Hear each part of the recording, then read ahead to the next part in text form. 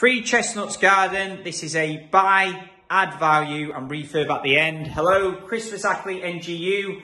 Give you some quick things you can see here. We've stripped out doing the first fix electrics. We're going to divide little top tips. We're going to put a free downlight pendant here to create a dining area and then the pendant across, we'll move it across so then you've got a separate living room diner.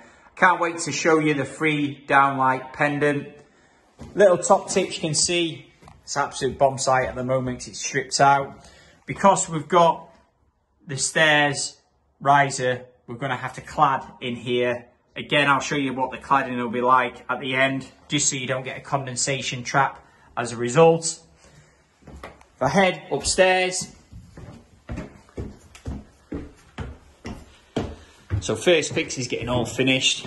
We'll need to plaster on board where required making sure that you spot all the different things. So we've got a separate alcove here. We're going to CLS, fit a casing in and fit a cupboard here. Because really this needs a cupboard on the top of the stairs.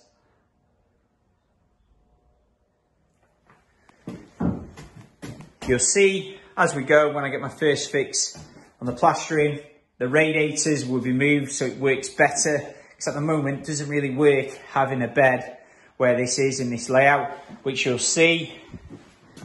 So yeah, quite exciting. So this is a buy, add value and refurb out at the end.